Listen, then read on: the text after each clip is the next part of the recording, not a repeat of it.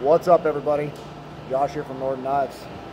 Uh, I am hopping on here because I wanted to make a video talking about a subject that I get asked about all the time. That is how do you sharpen your blades? How do you keep them sharp? How hard are they to get sharp again? So on.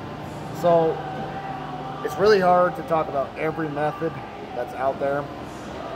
Let's see if I can adjust this here. Um, there's so many different types and ways to do this, but what I find is the best way to relay to someone out there how to keep their knife sharp or get their knife sharp again is to use traditional methods like stones.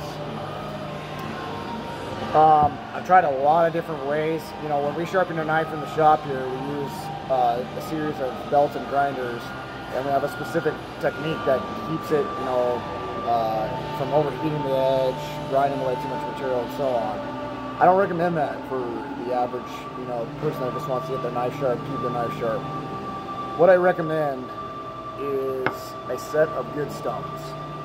This set right here is probably my favorite. This is from a company called DMT. These guys make excellent products. And what it is, you can see this is a little base. And what comes in it are these two diamond loaded steel plates. Now these are six inch plates, six inch by two inch plates, and there's four different grits in this series right here. Um, and you can see that they're marked extra fine, fine, and then coarse, and I think extra coarse, yeah. And basically what's what's in that right there, this set of stones, you get this set right here, is everything you need to get an inch back. I don't care how messed up it is, you can get it back with this system right here.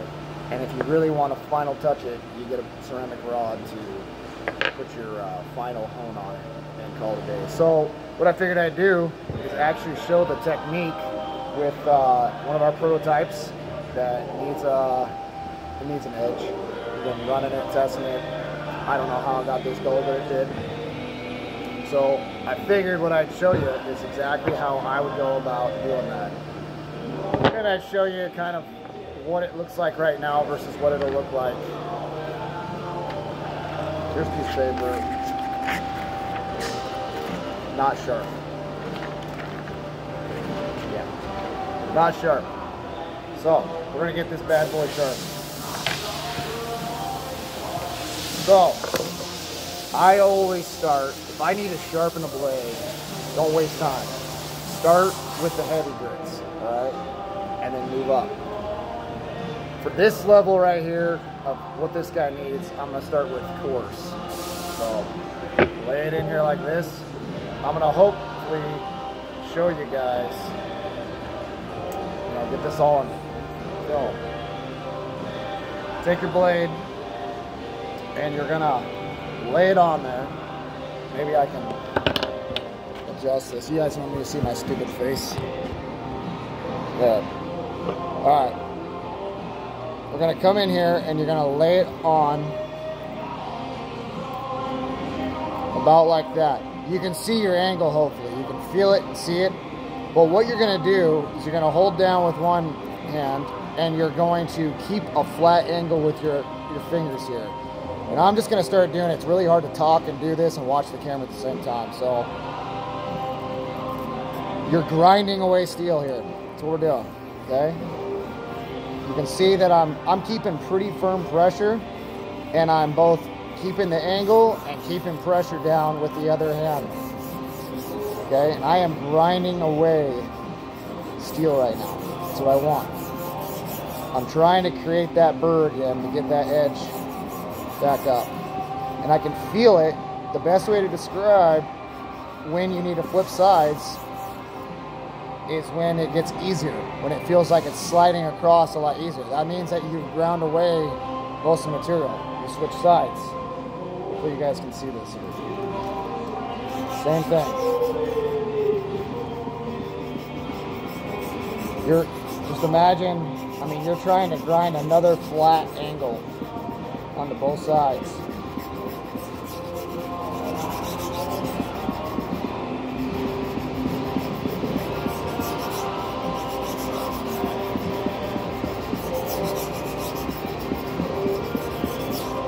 This is as much as a feel thing as it is an understanding, but the concept is practically the same as any other way of sharpening in that you're trying to create flat, constant apex angles. Sharpening has got to be the most misunderstood thing there is, and it's ironic because it's the only thing that makes a knife work the way it's supposed to.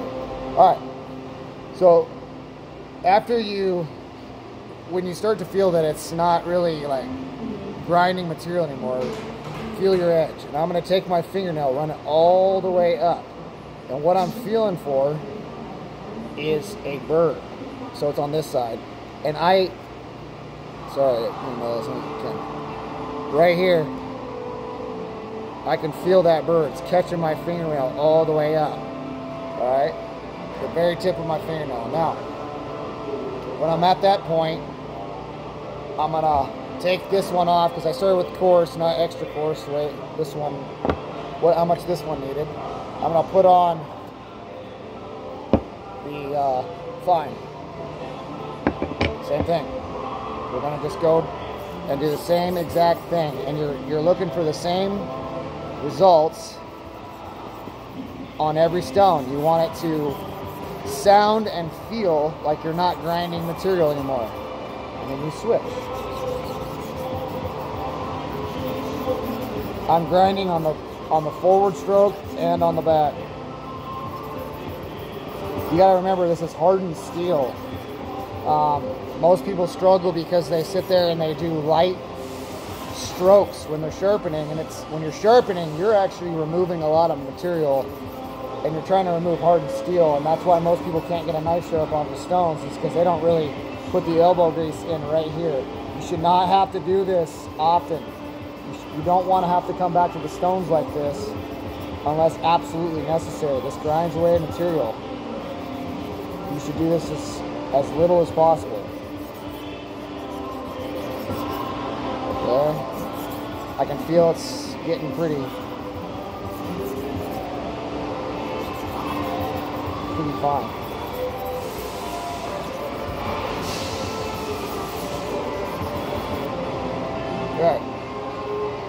I know from experience that I've reached another, I've reached the apex on both sides with this stone.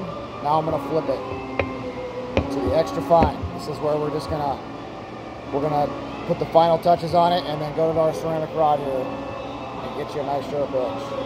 Same thing. Keep that thing close to the edge so you can get, get uh, all the way up, knife.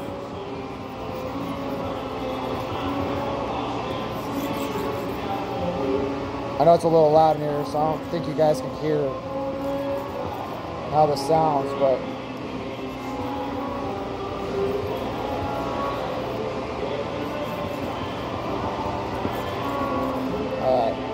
Now, I'm to come back in here. I'm to do some light finishing strokes.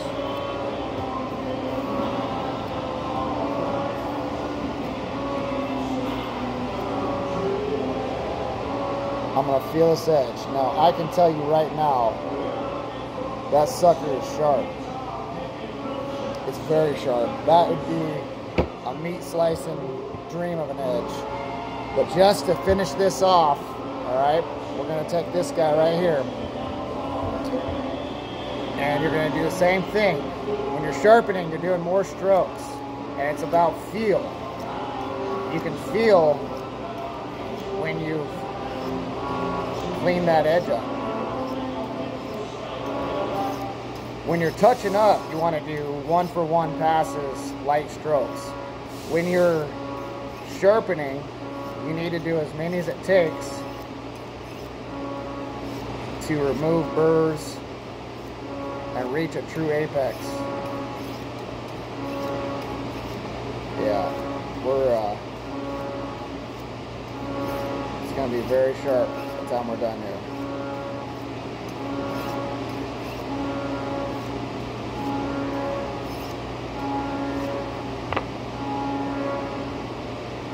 Alright. So, just because I'm a snob for this. I want a little bit more.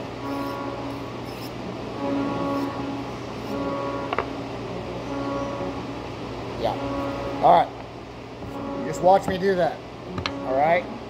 Now you can go to a strop and really fine tune, but for cutting meat and everything that you're normally going to do with a knife,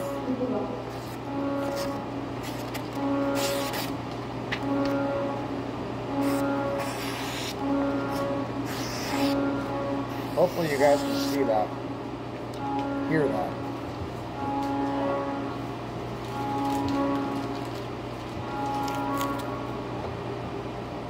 Little bit more.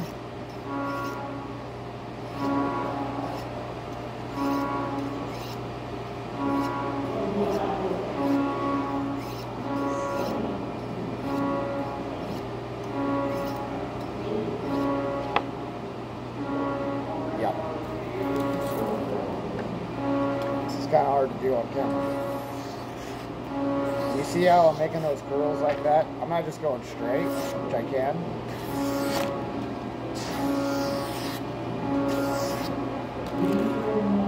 I don't know who that wouldn't work for. Um, actually, that would work for anybody. Let's just put it that way. That's a very sharp knife now. Alright, you saw how simple that was and how little effort it actually takes and little input of understanding how to keep your angle, how to get that apex back on. You want to do this as little as possible. There's some good guided, guided sharpening systems out there. Um, they're just hard to recommend because they're very expensive. They still take technique to understand and so on. But with a little bit of understanding and a good set of stones, those stones will last you your, the, you know, rest of your life. And uh, you can always get an edge back on pretty much any of your, uh, your cutlery. So hopefully that helped. I know that that's not going to solve everybody's, you know, how to do something, but um, hopefully it helps somebody understand what needs to go into getting a knife sharp again. Thanks a lot, everybody.